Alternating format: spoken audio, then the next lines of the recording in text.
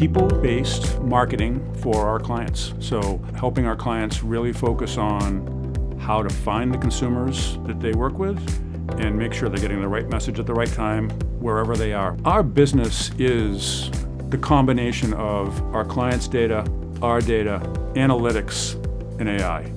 And Databricks will be at the center of that.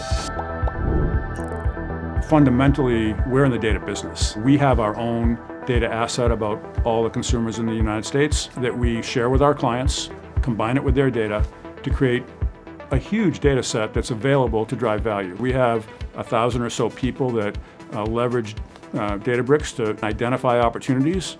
Uh, and more and more, we're starting to use generative AI to drive that user interface so that we can leverage the data and the platform uh, to generate more understanding of what consumers need. The democratization of that data and AI ends up being the real strategic advantage that we think we can deliver ourselves to our clients. It's really critical that clients look for ways to drive a consolidation of their understanding of who a consumer is. Fundamentally, that means reaching into all the systems in your enterprise to find that data um, and sharing it uh, in a way that allows you to both collect it and align it.